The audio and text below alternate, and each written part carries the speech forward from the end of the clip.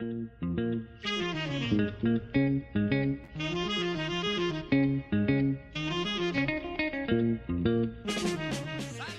Un saludo para todos los que están viendo el video. Hoy voy a presentar un proyecto hecho para un PIC 18F45K20. En este proyecto lo que queremos tener como objetivo es poder prender y apagar un LED de forma progresiva, es decir, que el ciclo útil del LED vaya cambiando constantemente para dar un encendido apagado, por así decirlo, tenue. Entonces, esto lo vamos a realizar con un PWM generado por el microcontrolador eh, a partir de una interrupción. Vamos a ver un poco del código realizado para esto. Eh, primero vamos a tener un setup.h. Aquí lo más importante es que vamos a tener la definición del oscilador interno y eh, algunas macros, unas macros con puertos y eh, una macro que es muy importante es el Big Toggle, que es una macro para cambiar de estado un pin. Entonces, si el pin estaba en estado 1, va a cambiar en estado 0, y si está en estado 0, va a cambiar en estado 1. También se incluyen algunas de las funciones, eh, como tal en este proyecto, tiene una particularidad y es que no va a tener nada en el main, porque todo va a ser realizado a partir de las interrupciones. Entonces, en el setup vamos a configurar el oscilador eh, que este va a ser de 16 megas eh, a través de registros con vamos a configurar los setups eh, correspondientes los que necesitemos también vamos a inicializar las interrupciones para esto es importante inicializar tanto las interrupciones globales con el, bit G y E del registro INCON y también las interrupciones externas periféricas. Esto también con otro bit del registro INCON.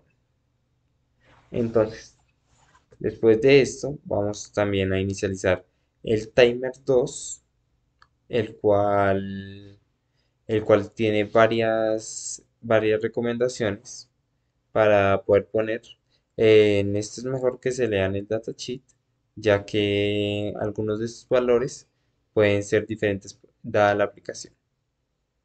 Entonces también tenemos un setup de PWM. Aquí lo único que vamos a activar es que es la comparación del timer con el que se va, con, el que se va a conseguir el PWM. Entonces, eh, Aquí también lo mismo, con el datasheet se puede ver estos valores asignados y por qué se pusieron. Por último tenemos la interrupción. Esta interrupción lo que hace es verificar la bandera del timer 3 y eh, al modificar esta bandera, eh, perdón, al ver que esta bandera está modificada, va a entrar al cambio de un contador. Este contador va a ser la función de un prescaler.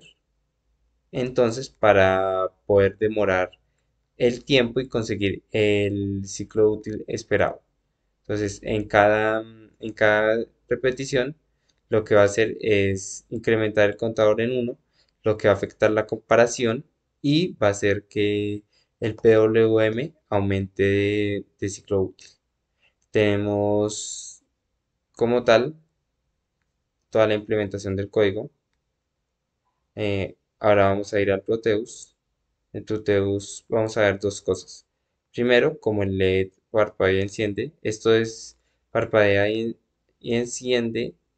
Eh, esto en la vida real no, no sucede así ya que el ciclo útil permite que el encendido sea de forma tenue y el apagado también. Y vamos a ver el osciloscopio conectado a ese pin, como vamos a ver, ahí está eh, pasando por todo el ciclo útil, tanto de 0 a 100%, y esto era lo que esperábamos de este proyecto. También tenemos un aproximado, voy a pausar un momento la simulación, un aproximado de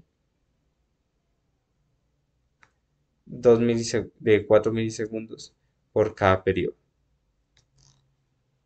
Eh, muchas gracias por todo. Ya saben, en nuestro Git del canal vamos a tener em, el código. Esto va a estar en la parte de abajo del video. Muchas gracias a todos.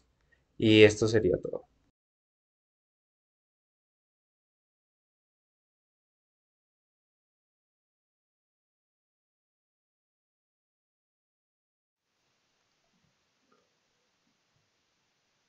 En este caso, para la implementación del PWM en Assembler, tenemos que primero se definen algunas variables que nos van a servir para definir nuestras veces que cambiamos el ancho de pulso tanto en subida en, de muestreo de la señal como en la bajada. Asimismo, eh, tenemos una variable que nos va a servir de iteración para saber cuánto cambiar el PWM.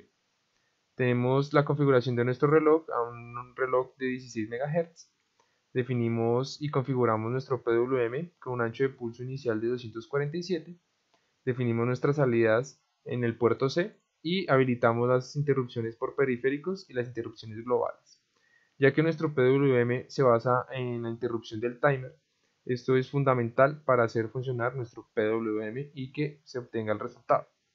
Entonces, de este modo, en las interrupciones tenemos las interrupciones de alta prioridad, que como vemos, nuestra única interrupción va a ser la interrupción por timer en la que al observar eh, pues, realizamos su respectiva configuración, en la que definimos que es un timer de 7 bits, que se habilita, que su modo operación eh, corresponde en flanco de subida y bueno, realizamos dos configuraciones generales para realizar nuestra interrupción por timer, definiendo eh, la velocidad del reloj y lo necesario para que ella interrumpa.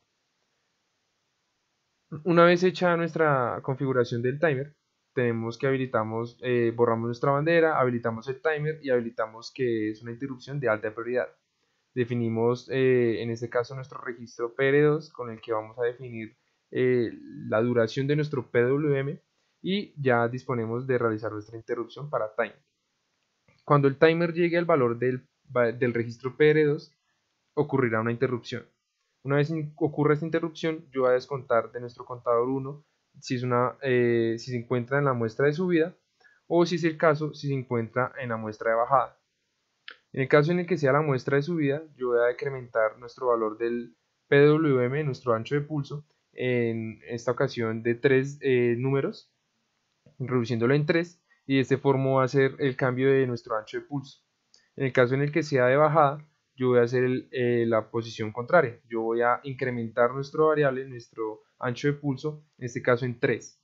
Y de este modo yo voy a hacer la variación en nuestro ancho de pulso, haciéndolo primero disminuyendo y luego aumentando. Y así de esta forma hacer posible la reconstrucción de nuestra señal.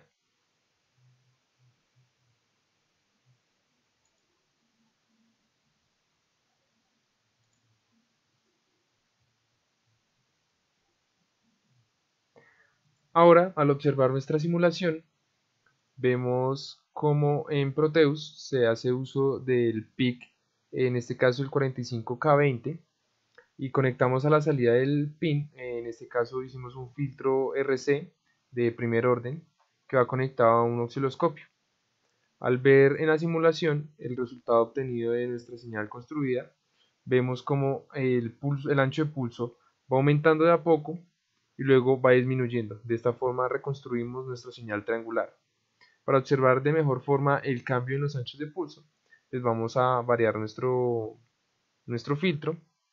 Y de este modo al volver a simular, vemos como el ancho de pulso varía. Primero se aumenta, luego se disminuye, luego aumenta, luego disminuye de esta forma. Aumentando, vamos a llegar a hacer una concepción del 100% de nuestra señal y al disminuirlo vamos a llegar al mínimo de la señal. En este caso eh, al interpretar el 100% de nuestro ancho de pulso va a significar el valor pico de la señal y en este caso si reducimos el, ancho de pulso a 0% pues va a ser finalmente el valor mínimo de nuestra señal y de esta forma realizamos la reconstrucción progresiva eh, de una señal AC haciendo uso de PWM. Al observar el resultado eh, pues se hace su implementación en físico y se obtiene el siguiente video.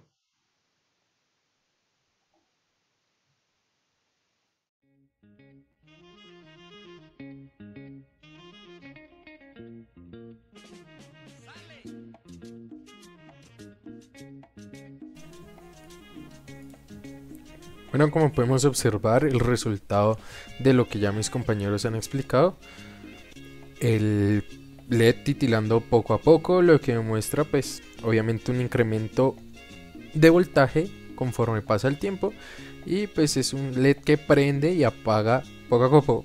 Algo similar a como cuando ustedes cargan su computador y eh, cuando está suspendido el computador empieza a titilar un bombillito. Entonces es algo similar a esto, es un PWM de tipo diente de sierra.